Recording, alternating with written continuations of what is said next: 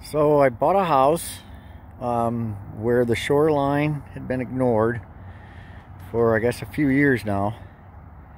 And uh, it kind of looked like that when I uh, first got started. And so I cleared a lot of the weeds and the lily pads. And uh, cut the cut the weeds down and and uh, so now my shoreline has a lot of muck. Uh, speaking with lots of people on how to get rid of the muck no one really had any answers for me. So all I could think of is um, try to wash it away.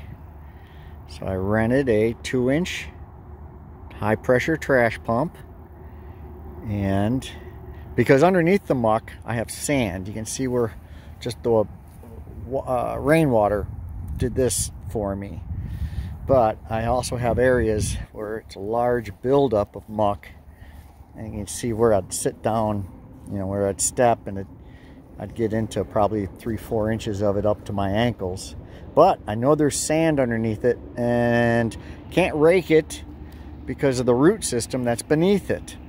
So again, all I can think of is wash the muck back into the lake expose the weeds or the roots, kill the roots, and then start pulling. So, anyways, it seems to be working. I, a lot of people had their doubts, including myself, but here you go. Um, here's an area that I washed, and there's the area I did not wash.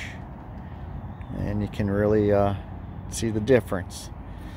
So if you walk out here, I know it's all wet, but nonetheless, there's your roots and there's your bare sand.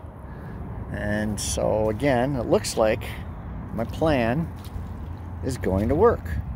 It takes time, patience, backbone, but uh, again, I think I'm gonna pull it off.